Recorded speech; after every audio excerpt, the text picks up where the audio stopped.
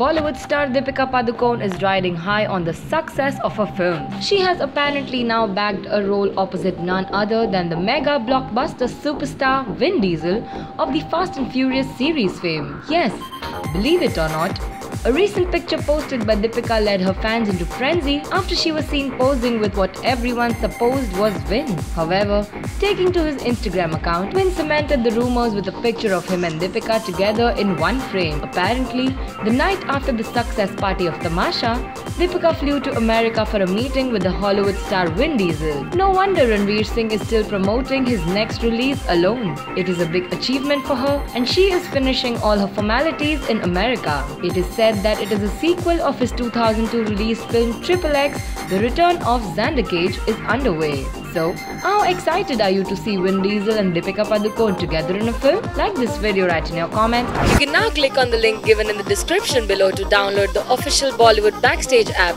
for the latest news and gossip. And don't forget to subscribe to Bollywood Backstage.